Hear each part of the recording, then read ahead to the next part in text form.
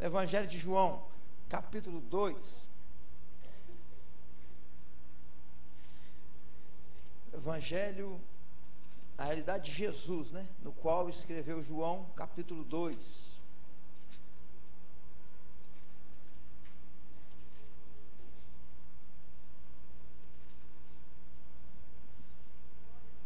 Aleluias. Diz assim: Três dias depois, houve um casamento em Canaã da Galileia. Achando-se ali a mãe de Jesus, Jesus também foi convidado com seus discípulos para o casamento. Tendo acabado o vinho, a mãe de Jesus lhe disse: Eles não têm mais vinho. Mas Jesus lhe disse: Mulher, que tenho eu contigo? Ainda não é chegada a minha hora. Então ela falou aos serventes: Fazei tudo o que ele vos disser. Estavam ali seis talhas de pedra que os judeus usavam para as purificações, e cada uma levava duas ou três metretas. Jesus lhe disse: Enchei de águas as talhas, e eles as encheram totalmente. Então lhes determinou: Tirai agora e levai ao mestre-sala. Eles o fizeram. Tendo o mestre-sala provado a água transformada em vinho, não sabendo de onde viera, sem bem, se bem que o sabiam os serventes que haviam tirado a água. Chamou o noivo e lhe disse: Todos costumam por, por primeiro, por primeiro o bom vinho, e quando já beberam fartamente, servem o inferior.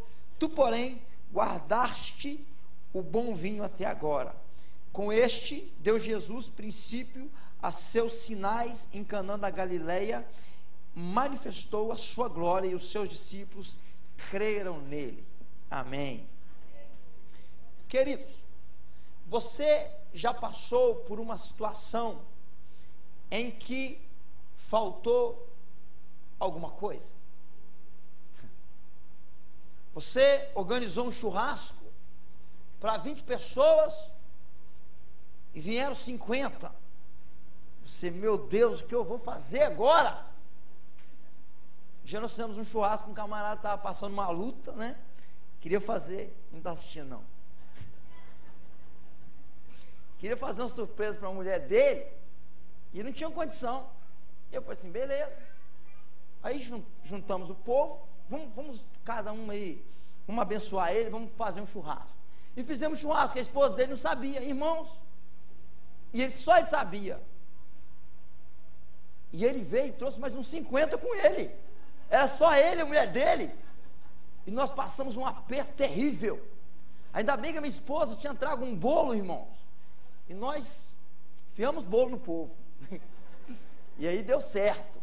Mas a gente não passa uns apertos assim, né? Às vezes você está num lugar, você esquece a carteira. Uma vez eu coloquei gasolina no meu carro, cadê a carteira? Eu tive que deixar a frente do meu carro no posto, eu poder pagar no outro dia. Então, gente, às vezes falta alguma coisa. Às vezes falta água, já faltou água na sua casa e você ficou sem tomar banho. Acontece, não é? De faltar água. Às vezes falta ânimo, às vezes falta discernimento, às vezes falta paciência. Alguma coisa às vezes acontece no curso da nossa vida e falta alguma coisa. E nesse texto, faltou vinho no casamento. Queridos, naquela época, faltar vinho em um casamento era acabar com a festa, era ter o nome dos noivos jogado na lama, era tipo uma maldição no casamento. Você vai, já foi no casamento e meteu a lenha? Falou assim, comi nada. né? Um casamento aí, o abençoado ficou revoltado, irmãos. Gastou 50 mil no casamento. E o povo saiu reclamando, falando mal. E ele ficou deprimido e chateado. Você imagina aquela época? Faltar o vinho era um problemão. E aqui o, o vinho simboliza alegria. O vinho aqui representa alegria. Imagine um casamento sem alegria. Imagine uma família sem alegria. Imagine uma pessoa que no final do dia ele quer ir para qualquer lugar mas não quer ir para a casa dele, porque não tem paz, não tem alegria na casa dele. Imagina você sem alegria. Imagine uma vida sem alegria. Que sentido tem a vida se não há alegria em mim e em você? Lá em Filipenses 4, 4, Paulo diz assim: Alegrai-vos no Senhor. Outra vez vos digo: alegrai-vos. Paulo está dizendo que a alegria não é opcional. O texto aqui está no imperativo. Você não tem opção, você não pode ser triste, você não pode ser angustiado, você foi chamado para ser feliz. Ser feliz é um mandamento. Você tem que ser feliz, queridos. O empresário estava de férias e resolveu passar férias com a família. E na hora de viajar, houve um problema, ele não pôde ir. Ele disse para a esposa dele assim: Você vai e leva as meninas, depois eu vou. E ela foi. E o navio em que elas estavam naufragou. E aí ela mandou um telegrama para ele, ele ficou muito preocupado. E ela mandou um telegrama para ele. Ele tinha mandado um perguntando como é, como é que está a situação? Ela disse assim: salva, porém só. Salva, porém só. Nós perdemos as nossas duas filhas. Ele pegou um navio e foi até o local. E ele escreveu uma música no local onde ele estava no local onde o navio afundou, levando suas duas filhas. Ali Deus deu uma canção para ele, e você conhece essa canção. Se paz a mais doce me deres gozar, se dor a mais forte sofrer, ou seja o que for, tu me fazes saber que feliz com Jesus sempre sou. Ele diz: Sou feliz Sou feliz com Jesus. O que, que esse homem está dizendo? Como pode um homem perder as suas filhas, está passando por uma situação como essa e dizer que é feliz com Jesus? Ele não está dizendo que ele está feliz, ele está dizendo nesse momento: eu estou triste, mas eu sou feliz com Jesus. Você tem que ser feliz, querido. No texto, quando o mestre da cerimônia provou a água transformada em vinho, elogiou o vinho com o próprio noivo, dizendo: É o melhor da festa, é o melhor vinho que eu já tomei. O noivo nem sabia, o noivo nem sabia. Ele disse: É o melhor. Por quê, pastor? Por que, que pessoas que passam por lutas, por dificuldades, por coisas que vão trazer tristezas? Por que, que essas pessoas reagem de uma forma diferente? O que, que acontece? O que, que aconteceu aqui neste casamento? O segredo é que Jesus foi convidado para o casamento. Querido, você tem noção do que é convidar Jesus para ir para o seu casamento?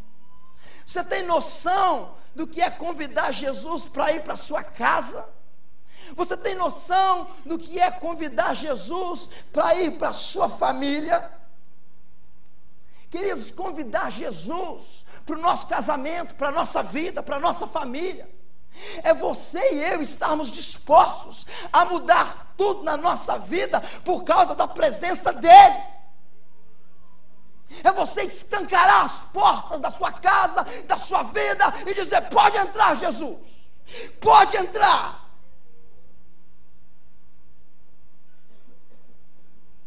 Pode entrar, Jesus. Tem casamento de crente que Jesus nem entra, irmãos. Eu nunca vi, parece que o povo é crente só dentro da igreja. Chega no casamento, a roupa é curta, é transparente.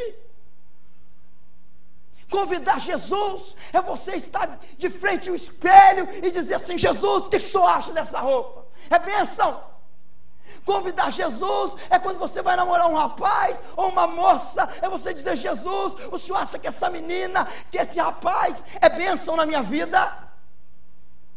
Convidar Jesus é quando você é você pegar a senha do seu Facebook e entregar para Ele. Convidar Jesus para ir para sua casa é você escancarar as portas e dizer: pode entrar, Jesus. Convidar Jesus é você ir para o trabalho e Ele ir com você.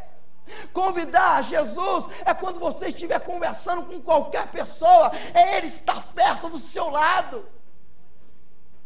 Convidar Jesus é quando você for namorar e você diz assim: vai devagar, ó, não coloca a mão em mim, não, porque Jesus está aqui. Convidar Jesus é você estar disposto a abrir, escancarar as portas da sua casa. Você já teve a experiência de alguém, o pastor até comentou, de você e de alguém na sua casa, e a sua casa está uma bagunça, e a pessoa chega na hora que você não espera, e você sai arrancando as coisas assim do lugar, e tirando o que está no chão, e você joga tudo dentro de um quarto e tranca a porta. Já fez isso? Eu já fiz. Ó, abençoado, você entra aí, mas aqui não dá para você entrar, não. Tem casa que você fala assim: não vou nem deixar você entrar na minha casa. Muitas vezes a gente convida Jesus, mas Jesus entra na nossa casa, que aqui representa a nossa vida, ele senta na sala e você diz assim: Jesus, fica à vontade. E aí Jesus, tudo bem, eu estou à vontade quando ele vai num quarto, está trancado, ele vai em outra área, está trancado. E ele não pode entrar. Isso não é convidar Jesus. Convidar Jesus para ir para a nossa casa, para a nossa vida, é você escancarar todas as portas e dizer: pode entrar, Jesus. Foi isso que ele fez, que é isso. Eu vi um pastor contando que eles fizeram uma campanha na igreja deles de carregar a Bíblia por um mês. Assim, onde você fosse, você tinha que levar a Bíblia. Se fosse no banheiro, você levava a Bíblia. Se fosse trabalhar, tinha que carregar a Bíblia. Se fosse para a escola, tinha que carregar a Bíblia. Onde fosse. E o menino ia fazer uma entrevista numa empresa, numa grande empresa. E aí ele pegou uma Bíblia, tipo essa minha aqui, desse tamanhozinho aqui, ó. Colocou debaixo do braço. E a mãe dele também era crente. Você, assim, meu filho, você vai aonde essa Bíblia? Eu vou fazer uma entrevista naquela grande empresa. Mas meu filho, você é doido? Você vai levar a Bíblia? Vou, mãe. Eu não fiz, não estou fazendo a campanha de carregar a Bíblia. Mas meu filho, a empresa, eles não vão aceitar isso não. Só que só está falando, eu vou levar duas. Aí pegou um mim, pegou uma Shadow, duas, botou um debaixo do braço, outro debaixo do outro braço e foi para a empresa. Chegou para a entrevista, entrou. E aí, foi pegar na mão da psicóloga. Só um pouquinho, senhora. Tirar um incômodo de um lado. A mulher falou assim: O que, que, é isso aí? O que, que, é isso, meu filho? Ele falou assim: Porque eu sou crente, isso aí é a Bíblia. Eu sou crente. Ela falou: Você é crente? É, sou crente. Isso aqui é a minha Bíblia. Ela falou para ele assim: passa lá no departamento pessoal, que o emprego é seu. Porque se você não teve coragem, se você não teve vergonha de carregar a Bíblia, se você não tem vergonha de dizer quem você é, você não vai ter vergonha de defender a nossa empresa e de honrar a nossa empresa.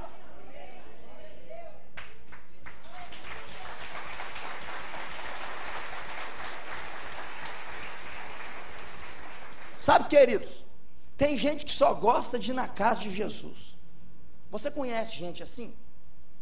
Que só gosta de ir na sua casa, mas nunca te convida para ir na casa dele? Você conhece gente assim? nunca te convida. E quando ele sai com você, é o maior serrote. Sabe o que é serrote, irmão? Serrote que não gosta de pagar conta. Não vou convidar fulano não, que ele não ajuda. Ele sai fora e sempre leva alguém.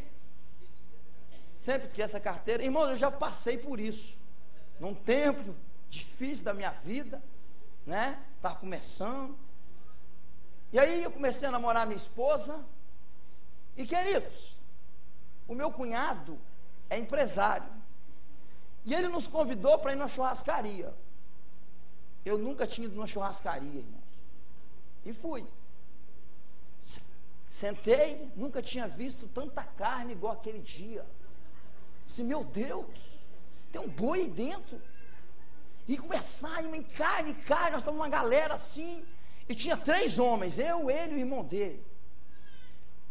E aí foi chegando no final, eu falei assim, agora tem que pagar a conta. Irmãos, eu ganhava muito pouco. E eu falei assim: o que, que eu vou fazer? Tem que dar um jeito. E aí eu, assim: eu estou precisando ir no toalete. Rapidinho. E fui, queridos. Fui de um tempo lá. Quantos para mim? E aí, queridos, quando eu voltei, eles já estavam se levantando da mesa. Embora. Eu falei assim, mas não pode passar assim, né? Eu falei assim, que está acontecendo? Eu falei assim, o que está acontecendo? Vou embora. Vocês já pagaram a conta? Assim, brincadeira, hein? Desse jeito não dá para sair com vocês, não. Tem gente assim, irmão, que dá uma de besta, não é? Só gosta de serrar. Quando comecei a namorar minha esposa, eu nunca tinha ido no McDonald's. Um dia eu fui. E aí eu falei assim, eu não tenho dinheiro para pagar não. Ela falou assim, eu sei.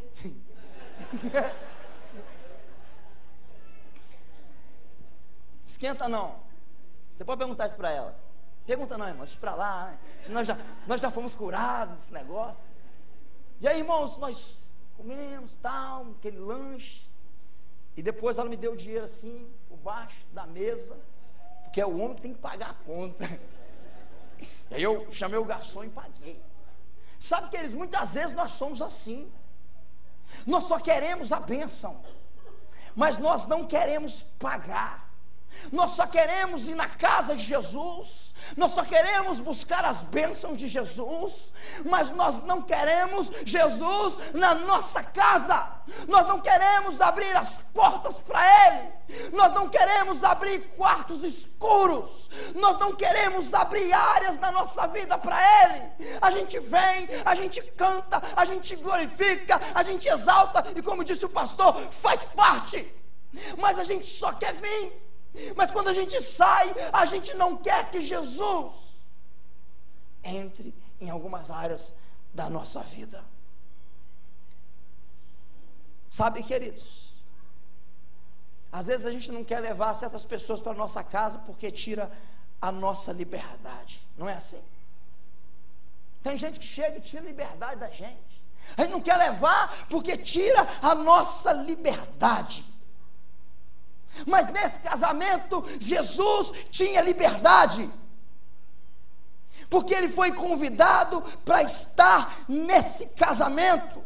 Jesus, ele fica à vontade porque ele era íntimo do noivo. Ele tinha intimidade com o noivo. Você no texto, você não vê em nenhum momento Jesus conversando com o noivo. Sabe por quê? Jesus, o noivo não tinha que fazer sala para Jesus, nem Jesus fazer para ele, porque Jesus tinha liberdade na casa do noivo. Ele podia entrar, ele podia sair a hora que ele quisesse. Jesus tem que ter liberdade na minha e na sua casa. Você e eu não temos que ter nada a esconder dele. Quando Maria disse assim: Jesus, acabou o vinho. Em outras palavras, eu estou te perguntando alguma coisa. Eu conheço o noivo, ele é meu amigo. Eu sei que está acabando o vinho. E outra, eu não faço milagre na hora que você quer, mas é na hora que eu quero. Você tem que crer nisso. A hora vai chegar e ele vai fazer um milagre. Ele vai fazer a água se transformar em vinho, mas é no momento, é na hora dele, é no tempo dele. É no tempo dele.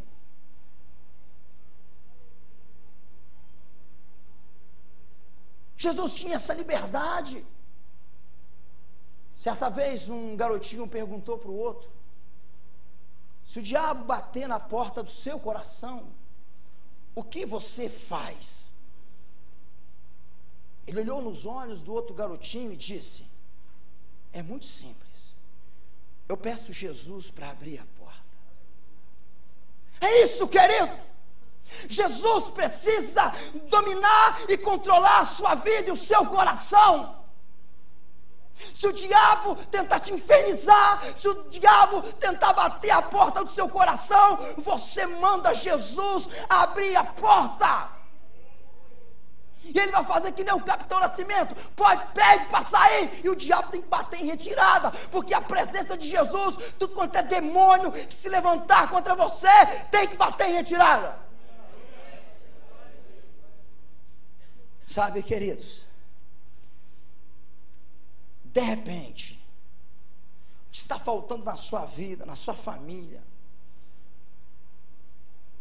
essa tristeza que você não entende, por que, que eu estou triste assim? Eu tenho tudo para ser feliz. Porque esse problema que não vai embora, porque essa enfermidade que não acaba, porque essa dificuldade parece que eu não caminho, parece que eu não prospero. Será que não é falta de Jesus? Talvez você pode até dizer assim, mas eu já convidei Jesus para entrar na minha vida. Você convidou mesmo? Ele tem acesso à sua vida, a todas as áreas. Ele assiste com você os filmes que você assiste. Ele entra na internet junto com você, ele vai trabalhar com você, ele vai jogar futebol com você. Ele tem acesso a todas as áreas da sua vida. Sabe, queridos, Jesus hoje pode transformar água em vinho. Jesus hoje pode transformar a água em vinho. Já vi alguém dizer assim: a minha vida está uma água, fulano de tal é uma água. Jesus pode mudar, Jesus pode transformar água em vinho. Lembra que o mestre Sala disse? O que ele disse? Ele disse assim: estranho.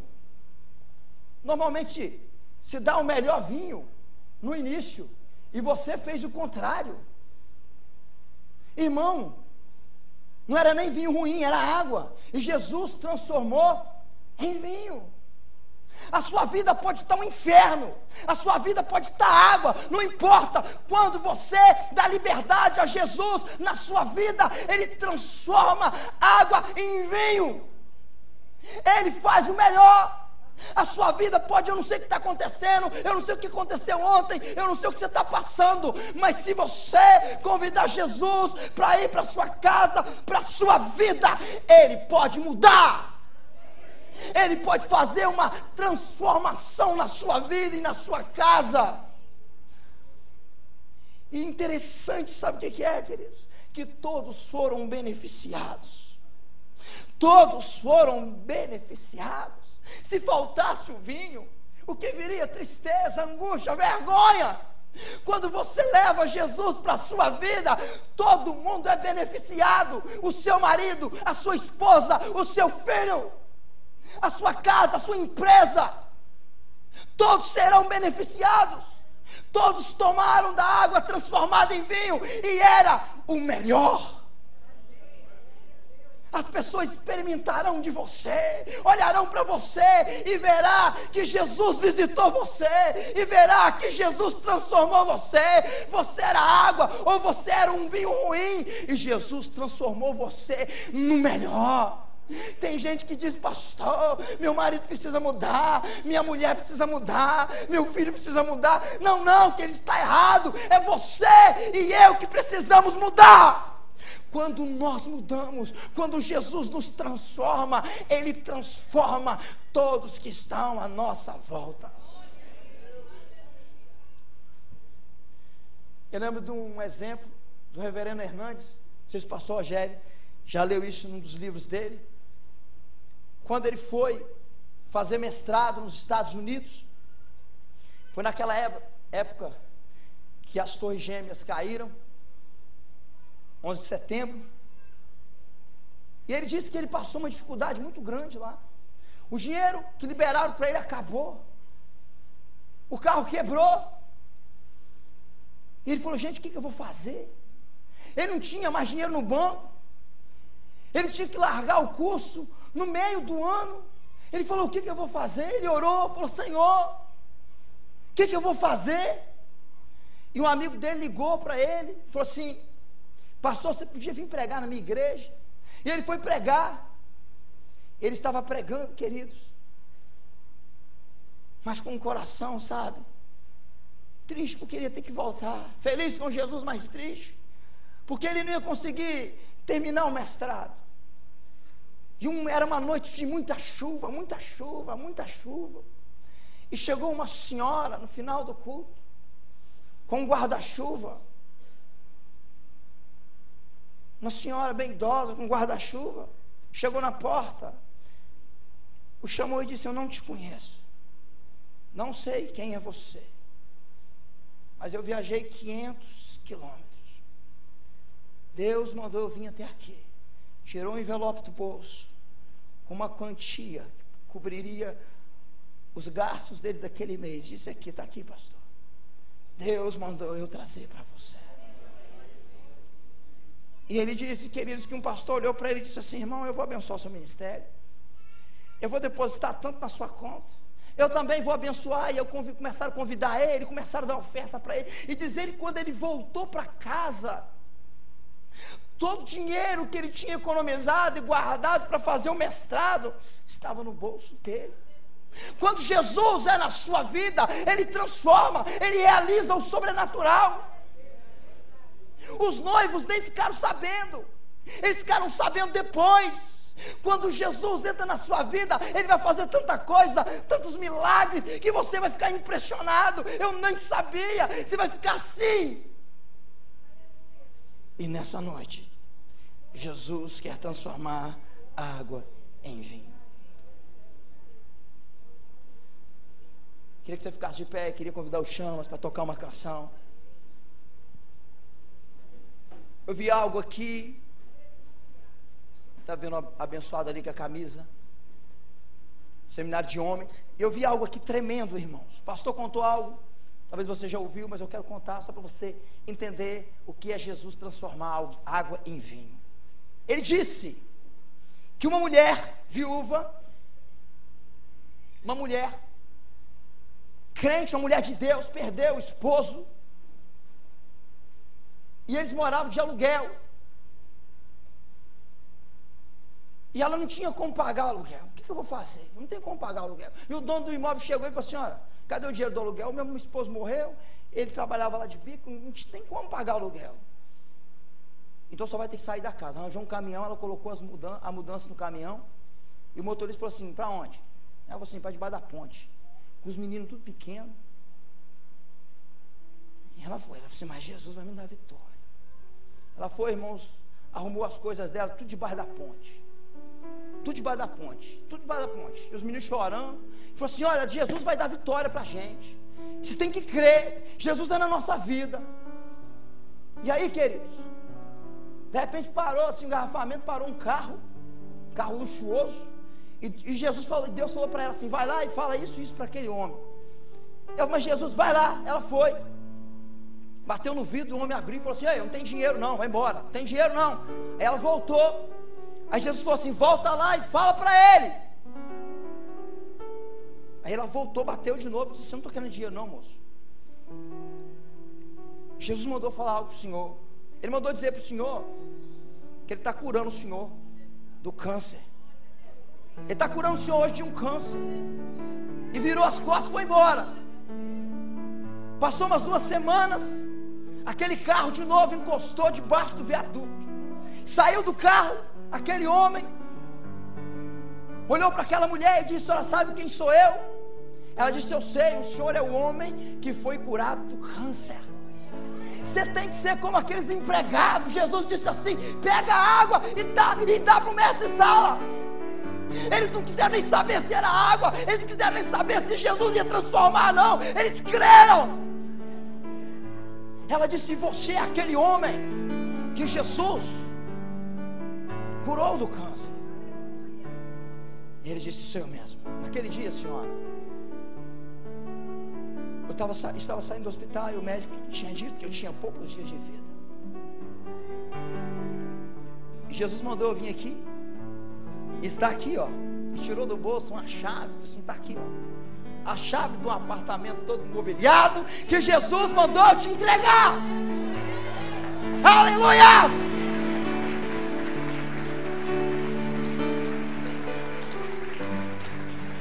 Quando você leva Jesus para sua casa, queridos, para sua vida, Ele transforma água em vinho. Aquilo que aos seus olhos parece impossível, Ele faz.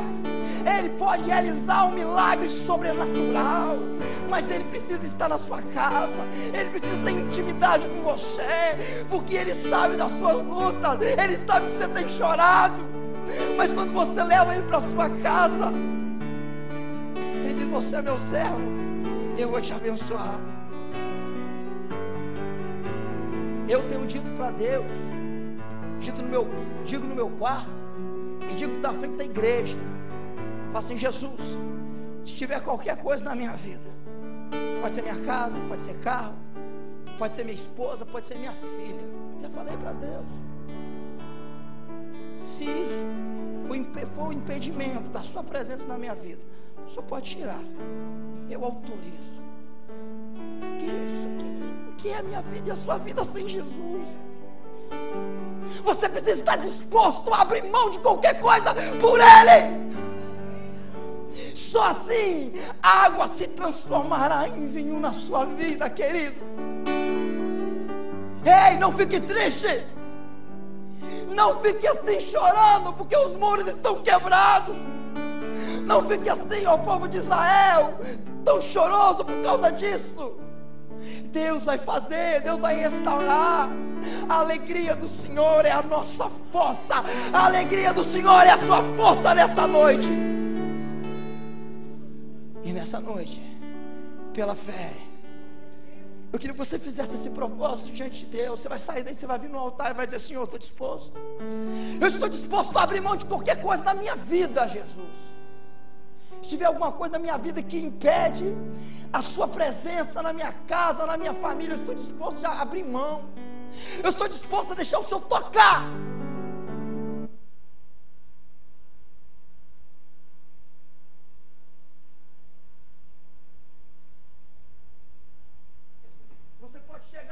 Casa e de repente só tem água, só tem vinho ruim. Você pode chegar lá e ter uma surpresa. Você pode chegar lá e ter o melhor. Diga para Ele nessa noite. Abre o seu coração e diga para Ele: Jesus,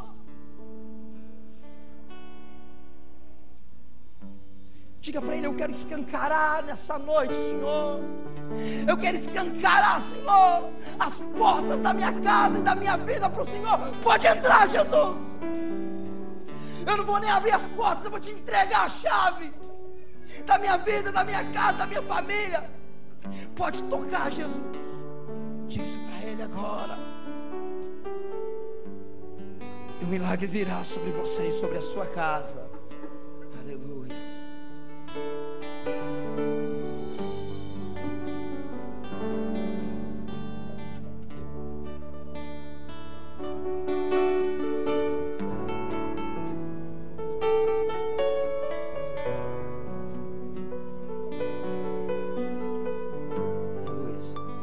Diga ao Senhor.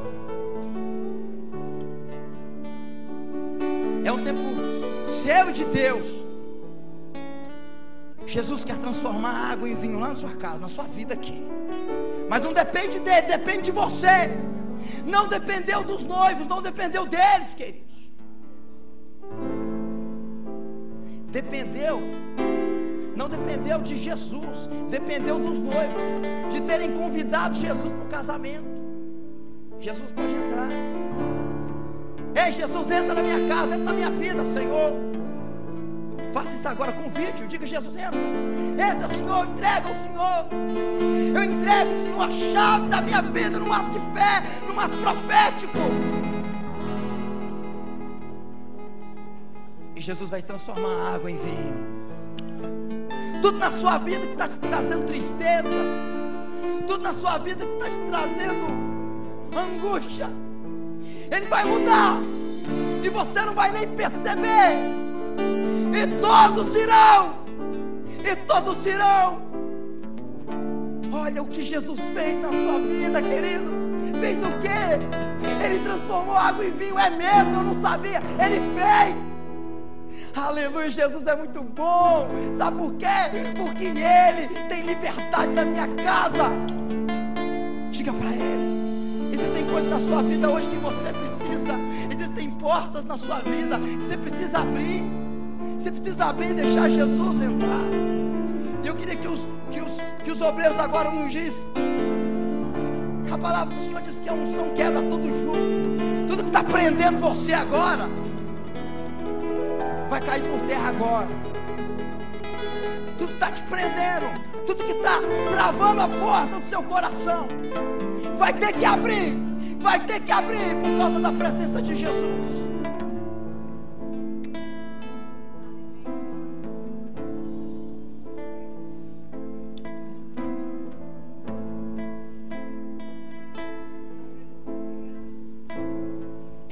Jesus agora depende de você. Convide Jesus. Convide-o.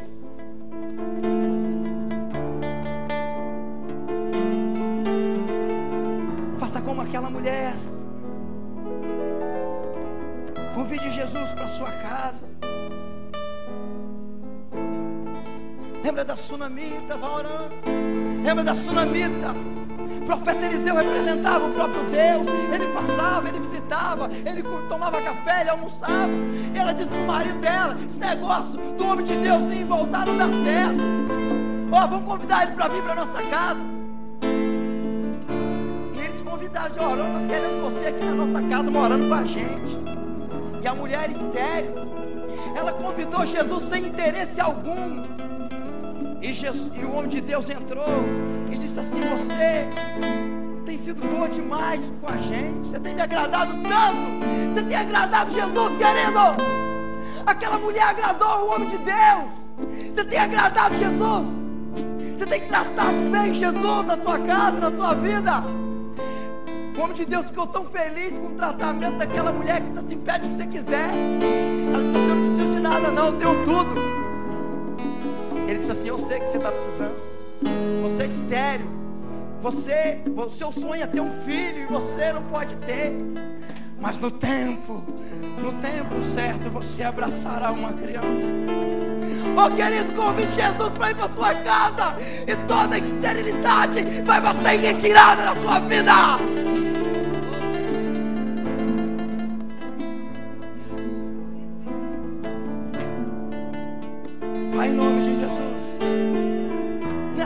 Noite, Senhor, nós estamos te convidando para o Senhor para nossa casa. Nós não queremos simplesmente vir à tua casa. Vir à tua casa é uma consequência, Senhor. Nós queremos te convidar para nossa casa. Nós queremos te convidar para nossa vida, Jesus. Nós não queremos, Pai, simplesmente escancarar as portas nós queremos nessa noite entregar a chave da nossa vida, da nossa casa, para o Senhor. Ó Jesus, se tem alguma coisa na nossa vida que está impedindo a tua presença, pode tirar, Jesus, pode tocar. Traz a nossa memória agora, Senhor.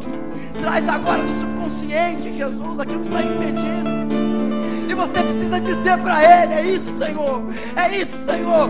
Pode tirar, pode tocar, Jesus porque eu não posso viver sem o Senhor.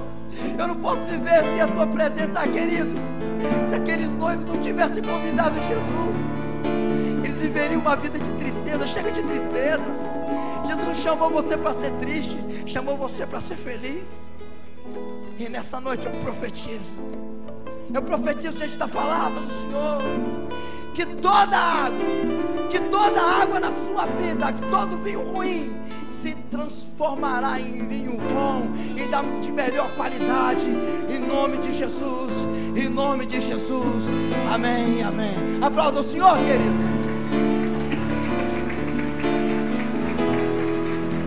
E você fica de pé agora, e você vai cantar uma canção profetizando, profetizando o que Jesus vai fazer. Ele está aqui nessa noite, Ele está aqui nessa noite.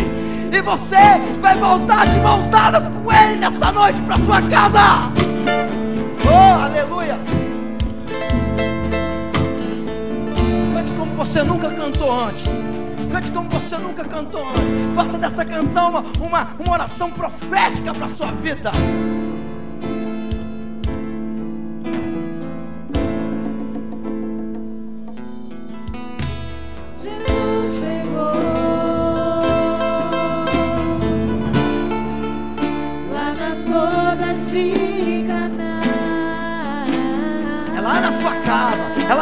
Casa que ele chegou. A sua casa é lugar de festa. A sua casa não é lugar de tristeza. Chega, isso vai acabar. Ele a água transformou.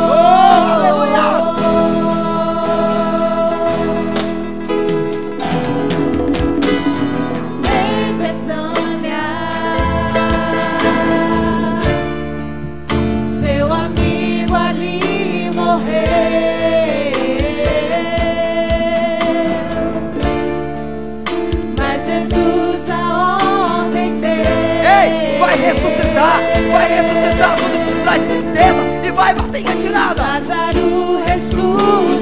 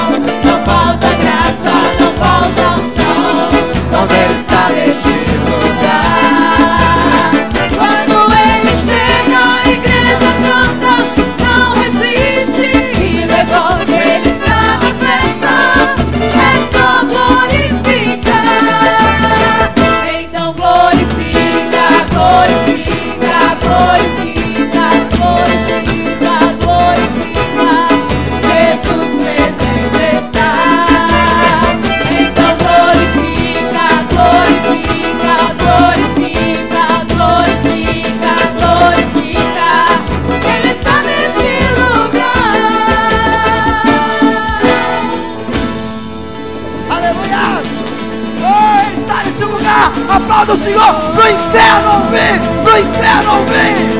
Aleluia! Aqui nessa reunião. Oh, aleluia! Já tocou meu coração. Já tocou! Já tocou! Diga, eu recebi Jesus! Sua vida já mudou. Oh, diga, já mudou! Eu creio! Eu creio!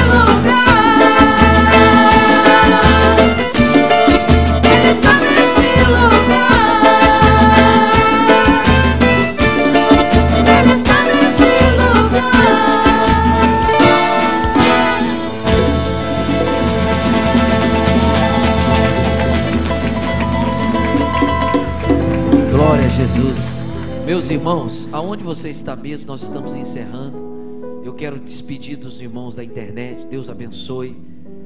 Tem uma semana muito abençoada em nome de Jesus. Domingo, 17 horas, o culto é transmitido também. Você pode estar conosco. Deus abençoe. Fique aí no mesmo lugar que você está, nós estamos encerrando. E Isaías 61 diz que Deus, em vez de mandar notícias de calamidade, Ele vai mandar notícias de alegria. Fala para o seu irmão assim, igual aquela mulher debaixo da ponte, né? Ela foi para debaixo da ponte e ela disse: Jesus vai dar a vitória.